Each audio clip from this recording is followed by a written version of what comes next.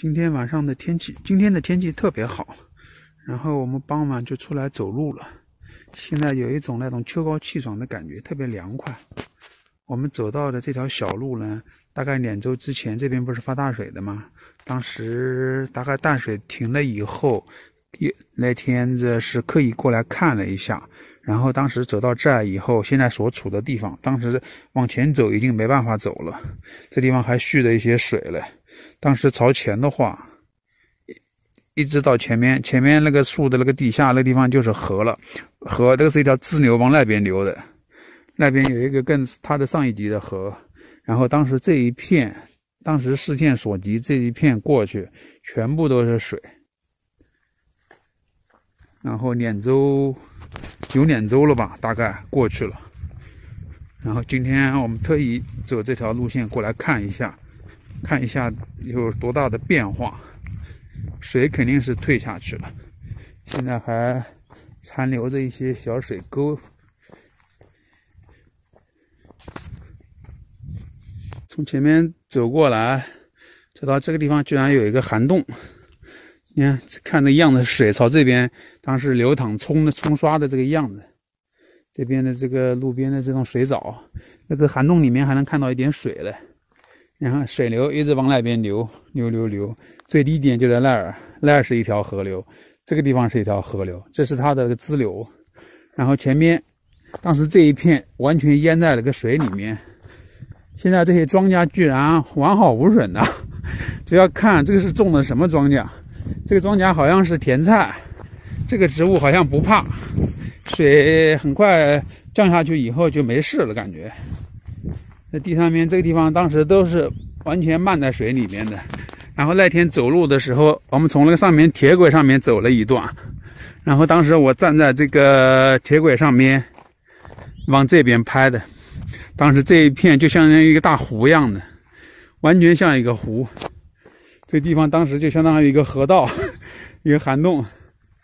我我剪视频的时候会把那个那一天拍的放到一个镜头里面。大家感受一下当时这个反差对比。现在我从这个涵洞里面走过来了，你想想，当时两周前这里边是完全泡在水里面的，这边也是一条小路，又开始那个什么鼻涕虫发手了。这边这个植物你看长得多茂盛哦，加上这个水滋润了一下，漫过了。当时这个小路肯定是没办法走的呀，你看这个一看就是被泡过的，还有很多泥嘞，泥浆嘞。然后左边这个轨道被这个火车道正好挡住了，前面前面就走到了个小河那儿了。这路好像有点难走啊，你看，这植物太茂盛了，现在夏天，嗯，能看出当时被泡过的痕迹。幸亏这个路现在不是很烂，快两周了，这段时间基本上晴天，就上个周末下了下了雨，上个周末这两天下了零星下阵雨。这个羊肠小路，这植物太茂盛了，完全掩映在这一片这个小树林里面。马上就走到这儿，有个开始抬凸起，凸起这地方就是那个桥。那个涵洞，那个桥，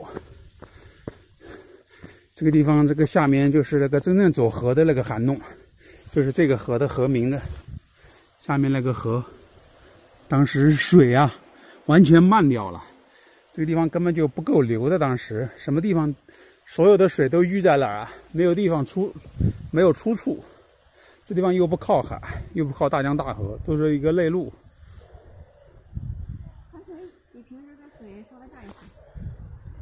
反正是完全降下去了，正正常的那个水。你看路两边的这个植物，当时这边我们当时站在铁道上往下看的哈，感觉我说这小路还在。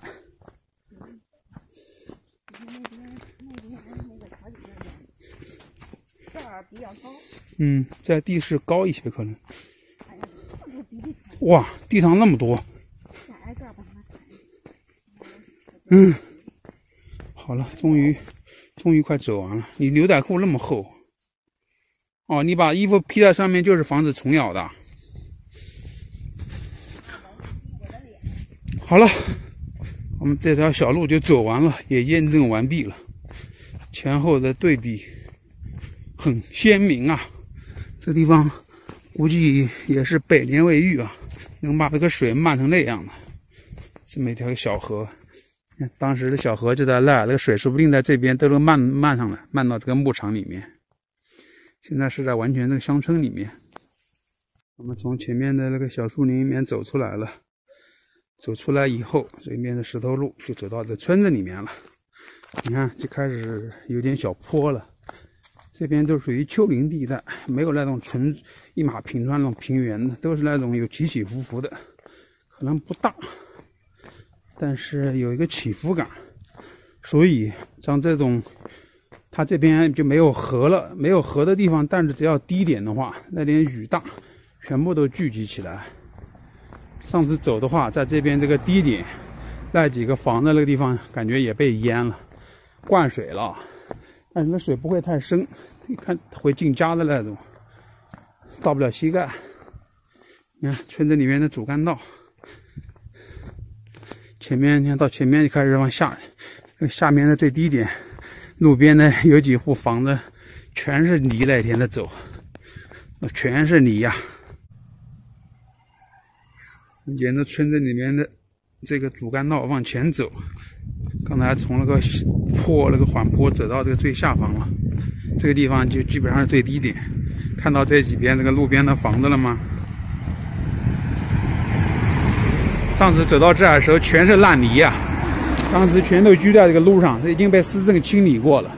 这这几户人家是因为最低点被淹到的地方，然后家里面肯定一般这种老房子都有地下室，地下室一般是被满淹的比较多了。里面的家具全都堆下来了，报废了。现在的，当时这个路边脏死了。当时走过来的时候，现在被市政清的还挺干净的，已经看不到了。这地方最低点嘛，你看最低点放的那种个下水井壁的，他们家的这个，然后这沙袋还在这放的，这有一堵墙，那沙袋想把这给挡住哈，水防止水进去。嗯。你看这家当时看也是被淹的比较厉害的，门口堆的那个沙袋，他们那个好低哦，这个水当时从门都淹到他那个户里面了。现在又开始爬小缓坡了，所以这个地方的最低点啊，两边的水都呼啦呼啦往这边聚，吓我一跳，正好记录一下。现在是整点。六点吗？哦，不是七点吗？哎，七点半。等敲完我就不录了。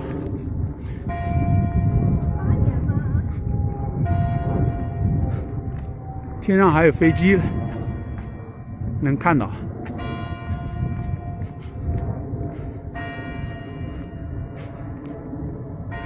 敲了多少下子了？好，终于，终于不敲了。刚才我们在那个铁道下面的那个涵洞那儿，当时站在站在上面往下看那个小河，这就是那个小河往上走的那个上游。现在一路往下走嘛，一路往下流，流到那个大河那儿。这个河水平时感觉就蛮多的，所以上一次那个水，你看从这儿一直到这个上面，哎呀，应该买个簸箕啊，可以拿来砸核桃。来，你给帮我舀呗。然后这个后面是一个私人庄园。咱们来看一下这个，你看这个地，当时这一块地是完全淹在水里面的。然后这个河就在这个旁边嘛，过去的那个地方，那个地方。对啊，这个这块地比较损失比较大的，那个地方全部都贴在那个上面了。当时可能长时间泡在水里面导致的，这可能怕水吧。这是个亚麻。那一块，你看，就跟那个湿地一样的，那个烂泥一样的。当时这个这块地是完全泡在水里面的。现在它就在这个河最低点的旁边啊。我们出来走了至少有六七公里了吧？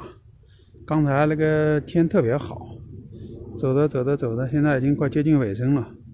然后天上这个云已经开始丢点了。现在乌云滚滚啊，整个天上都是的。现在是前边那个红彤彤的地方，就是太阳落山的地方。